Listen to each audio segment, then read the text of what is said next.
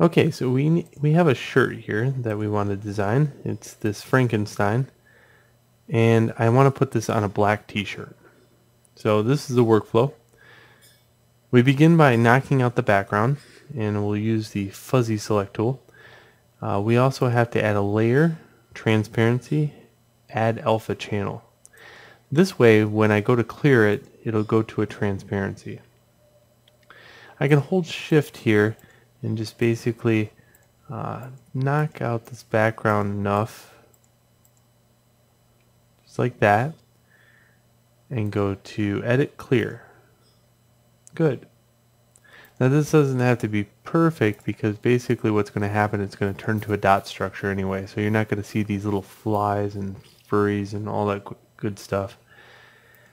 We need to set the print size higher we need it to be the print size that we need it to be. So it's uh, 12 and we're going to make sure this is locked. So it's 12 by 15 by proportion. Okay, next. Let's go to filters, distorts, and go to newsprint. Now you can see here in newsprint, it's taking the RGB values and turning them into dots. So a way around this is go to image mode grayscale. Now when I use filter, distort, newsprint, there is no dots, just black and white. And we can set our cell size to any cell size we need. Now you might want to play around with the cell size depending upon how big you have your image, what color contrast you want on a shirt, all kinds of good stuff. So you're going to have to experiment with that. All right, there we go. We have dots. Now this would work great on a white t-shirt. But what's going to happen is I have a black t-shirt. So I'm going to have to invert the colors on this. And I had to do that transparency background because if I didn't, it would have turned black. Alright, well I can export as, and I can export this as a, a PDF.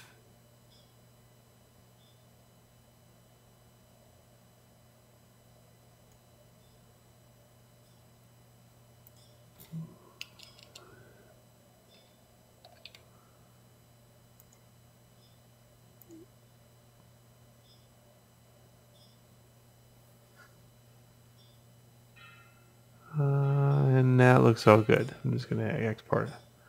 We'll go open that up. It's on the desktop. It looks like this. The reason I put it into PDF is we have a feature in PDF. This is the only Adobe application we use in the lab. We have this. If you go to print, we have poster. And we can set our size.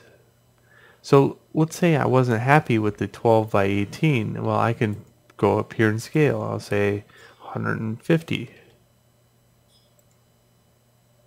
But that is a lot more paper.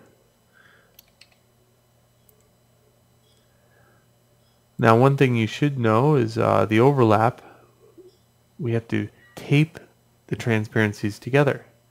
So I would put an overlap at like at least 0.125 if not if not greater.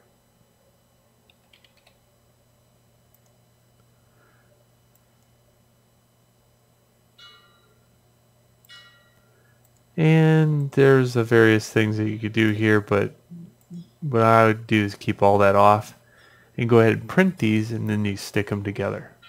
You just have to match up your dots.